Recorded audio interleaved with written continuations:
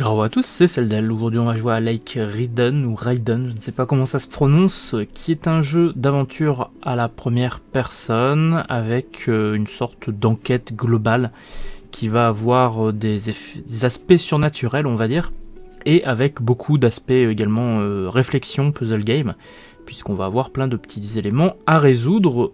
On va continuer ma partie, je viens actuellement de résoudre une énigme qui va me demander de monter dans un grenier et je ne sais réellement pas ce qui va se passer. Donc on va le découvrir ensemble et puis on va avancer un petit peu.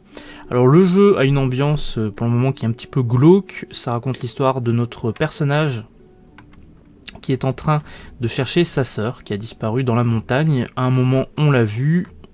Elle était au-delà d'un pont qu'on ne pouvait pas franchir puisque le pont était brisé le temps qu'on fasse le tour pour la rejoindre, la sœur avait disparu. Et un truc qui ne rassure pas, c'est malheureusement qu'il y a beaucoup de disparitions dans cette montagne de jeunes filles. Et évidemment, notre sœur étant une fille, ça rajoute un petit peu au stress. Alors ici, on a la maison.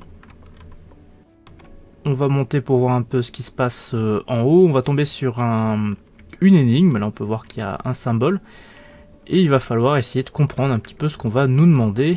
Et ici, justement, il va falloir réorganiser ces symboles selon bah, une euh, dynamique qu'il va falloir essayer de comprendre. Alors un truc qui est très bien dans le jeu, j'en parle tout de suite, il y a un système de hum, d'indication. Si on ne sait pas quoi faire dans les grandes zones, on va dire, eh bien on peut cliquer et avoir une petite indication recliquer pour en avoir encore une autre, encore, encore, et jusqu'à la quatrième qui va totalement nous expliquer ce qu'on va devoir faire. On a également les notes qu'on a récupérées, donc dans les différents secteurs, qui vont avoir un intérêt soit au niveau de l'histoire du jeu, soit un intérêt directement pour comprendre comment résoudre des éléments.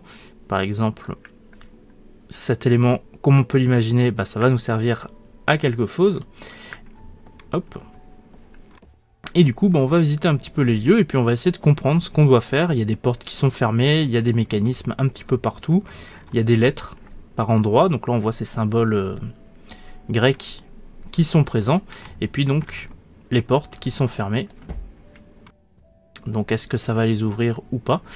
Euh, Eh bien, on va regarder. Donc ici, premier objectif déjà, c'est de trouver les symboles. Les symboles, on a ici l'un d'eux. On avait en bas euh, ce petit symbole qui était donc tout en bas.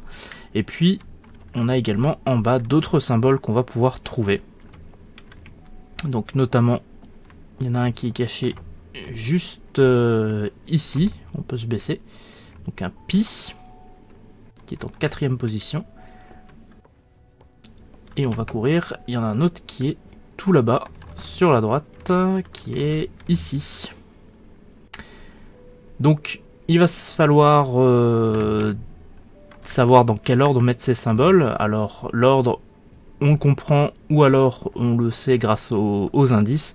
C'est l'ordre de haut en bas. Donc là, le plus en bas, c'était celui-là. Donc on va hop se mettre comme ça. On va tourner les éléments, c'était ça. Ensuite, on avait le haut qui était en bas. Ensuite, on avait le pi. Euh, et ensuite, euh, alors il me semble qu'il y avait le haut qui était là, qui était relativement élevé.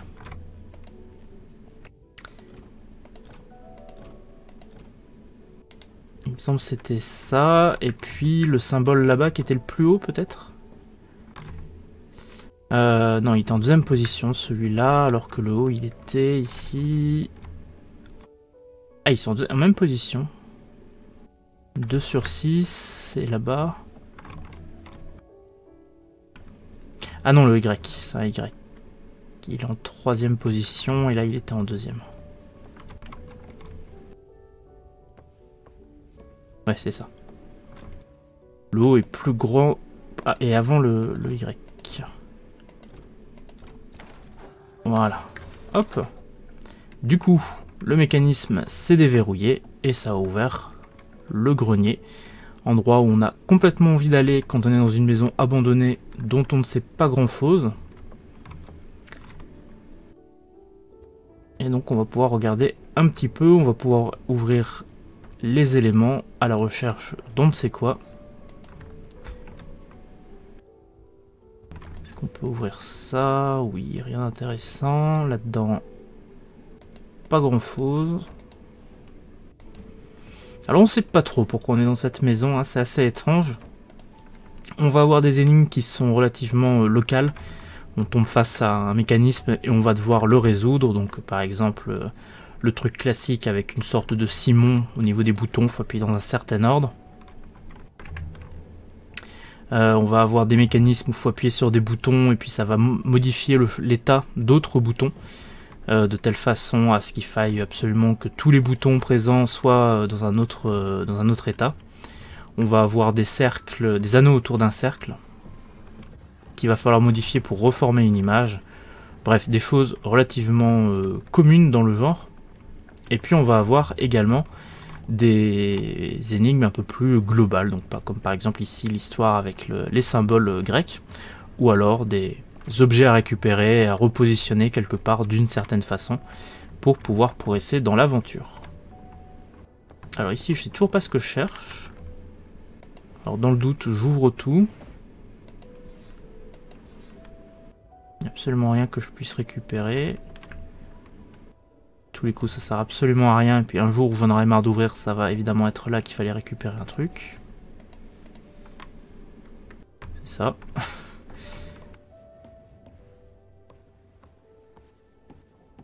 Mais a priori, il n'y a pas de screamer ou de trucs qui font réellement peur.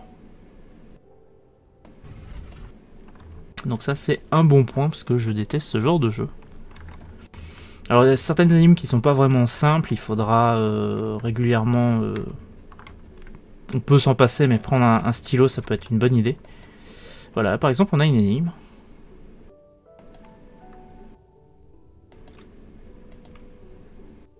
Faut quoi Faut appuyer sur tous les boutons. Il doit y avoir une logique. On peut démarrer n'importe où a priori. Il faut appuyer sur 4 boutons, je pense, c'est pas un de plus. Ah là, il y a une autre énigme encore. Mais je peux a priori pas faire grand chose. Bon. On peut allumer l'élément. Donc là, il y aura une énigme, il faudra ouvrir ça d'une façon ou d'une autre. Hein. En général, il n'y a pas de retour réellement en arrière. Quand on libère un, D'accord. Il y a un truc? Non, c'est du mur. En général, quand on est dans un secteur, il faut faire quelque chose dans cette zone euh, directement. Hein. S'il y a un truc qui reste fermé, c'est pas normal. C'est que, théoriquement, on est censé quand même l'ouvrir un moment ou un autre. Donc si on bloque, on sait pas quoi faire et qu'il y a un truc qui reste à ouvrir, bah, c'est sûrement par là qu'il faudra s'y intéresser. Hop, euh, tout vaut rien, tout vaut rien.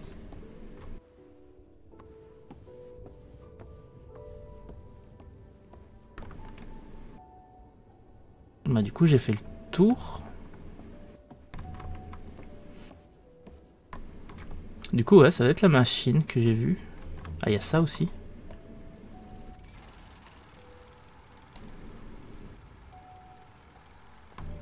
Y a pas un drap blanc à tirer ou un truc pour ça?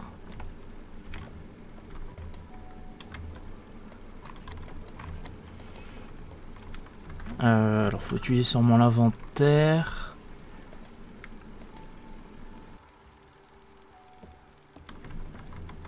L'autre truc que j'avais, c'était une roue. Ici. Ça fait des diapos.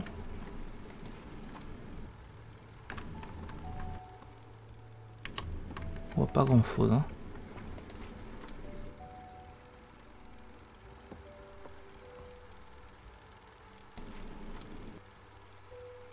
Ah, si, il y a les positions des trucs à allumer. Alors il y a celle qui est juste au-dessus de l'angle à droite. Alors je l'avais vu où la machine? Je suis perdu.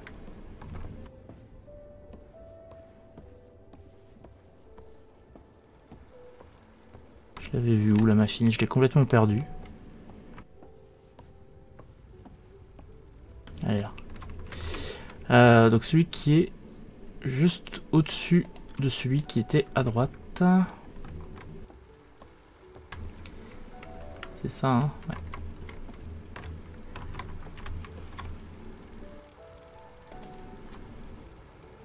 Celui qui est tout à droite. Euh, deux crans à gauche.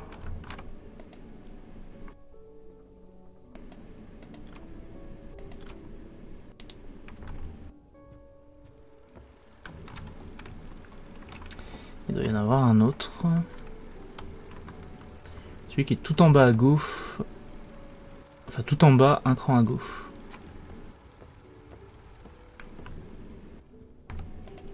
Tout en bas, un cran au-dessus là. Ah, c'était pas ça. Alors là, si je suis paumé, je regarde une indication, la petite machine qui projette. Il y a un pattern pour ouvrir le coffre. Est-ce que j'ai déjà vu ça quelque part Les quatre boutons doivent être appuyés. Ils sont connectés au bouton de la machine qu'on a vu. Euh, quatre des images projetées ont un symbole sur elles qui est un élément. Alors j'ai dû me planter en fait.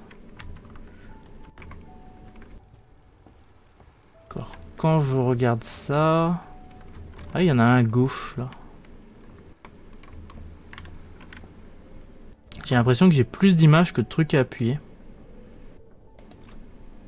Il y a celui-là qui était indiqué.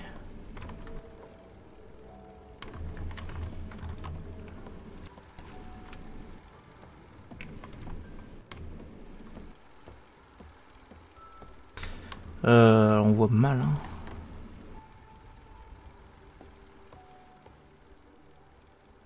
Par rapport en haut, il est où?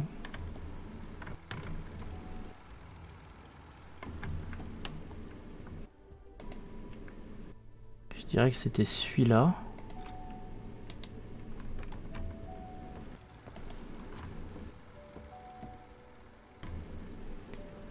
Après, faut remonter par rapport à tout en bas. Deux à gauche, un en haut. C'était celui-là.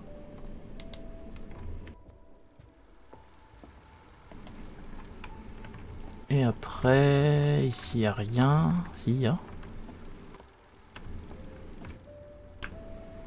Un triangle là, mais j'ai un doute. C'est quand même plus clair, et là c'est celui qui était à droite, un cran haut. Alors j'ai l'impression qu'il y a plus d'images que de choses. Non, il doit y avoir un truc spécial. Alors est-ce qu'il y a réellement des symboles dessus Sur la roue?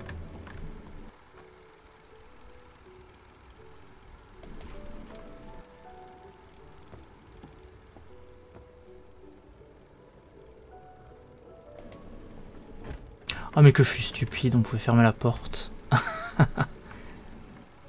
Alors les symboles, est-ce qu'il y a réellement un truc intéressant là-dessus?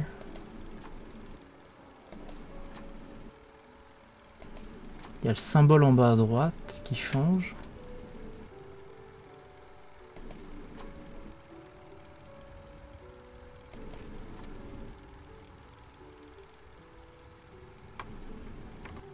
Est-ce que c'est en, lien avec les symboles qui sont sur la machine? Ça là. Est-ce que si c'est un symbole qu'on retrouve, on doit l'utiliser? Oui, on voit l'espèce de trèfle ici. Donc le symbole avec le trèfle, il serait bon en fait. Peut-être. Symbole avec le trèfle, c'était... C'était ça. Donc ça, je pense qu'en bas à gauche, ça doit être bon. Celui-là doit être a priori sympa. Ensuite, est-ce que ce symbole de deux rectangles imbriqués existe? Deux rectangles imbriqués, j'ai pas l'impression. Hein. Ah, quoi que si, ça, les bords là. Si les rectangles imbriqués, ils y sont. eux, ils me disent... Celui qui est juste au-dessus, à gauche.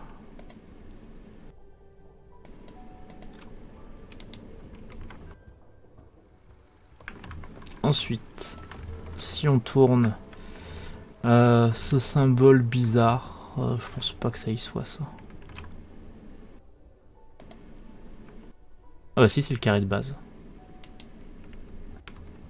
Donc ça c'est en haut à droite. Ici.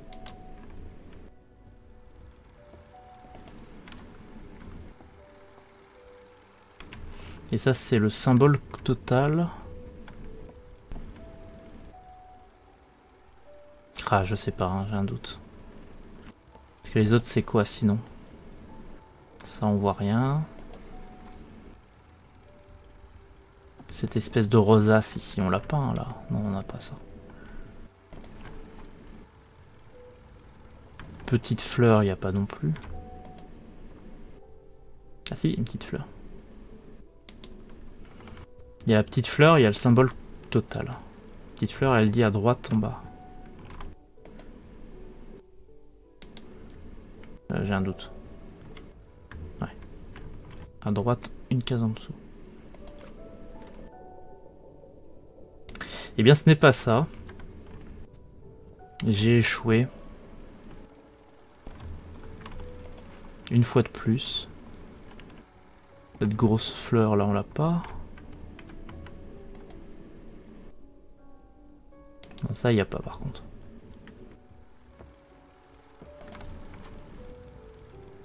Et après, on revient au début.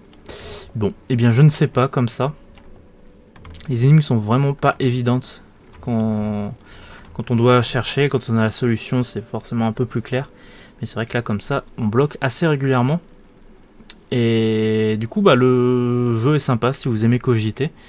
Euh, l'ambiance est assez particulière, euh, on va dire pas très joyeuse, mais bon, ça on s'y attendait un petit peu. Et du coup, le jeu coûte 20 euros, il est disponible sur Windows, donc c'est euh, sympa si vous aimez ce, ce genre d'expérience. Hop, qui est parfois un petit peu creepy avec du surnaturel.